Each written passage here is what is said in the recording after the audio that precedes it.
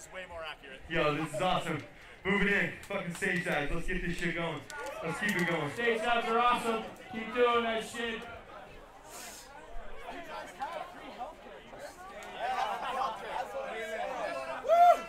fact, I'm thinking about diving Yo, up next we're playing a song off our upcoming LP on Pure Noise Records. It's called Epidemic. But, uh, I just want to shout out Canada, yo. You guys have your fucking awesome thing going here. And I talked to a bunch of people and, uh, about, you know, their medical issues that they're having. that's what I talk to people about because I'm hurt, that everybody else is hurt. And it sucks that your system doesn't really take care of you as well as it should. And it sucks that mine doesn't take care of me at all. But, uh, I don't know, fucking bullshit. This song's about, uh, you know, for-profit industries, and I don't fucking like them at all. But, uh,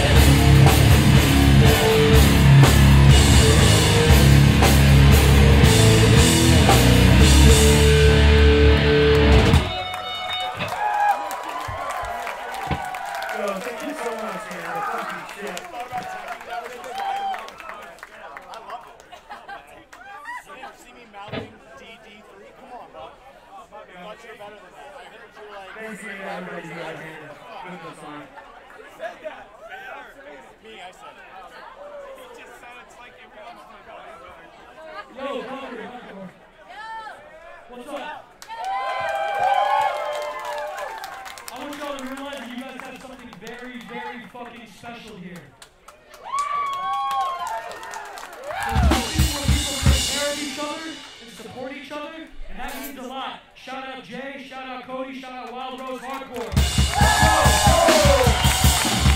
Thank you guys.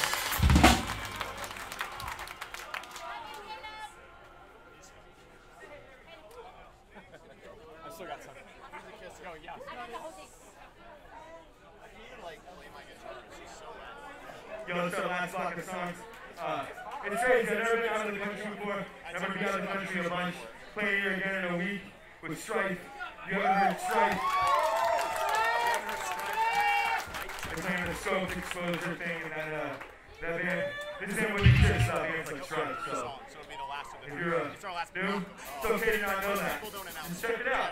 That's I've had a lot of conversations this weekend with people about how there's just so many new kids, and uh, how do we handle them? How do we how do we bring them in without letting them dictate terms on how things roll here and how things have gone forever? And the way you do it is uh, you let them know. You let them know that you were new once too, and you had a lot of learning to do, and you remind them that you knew nothing when you were their age.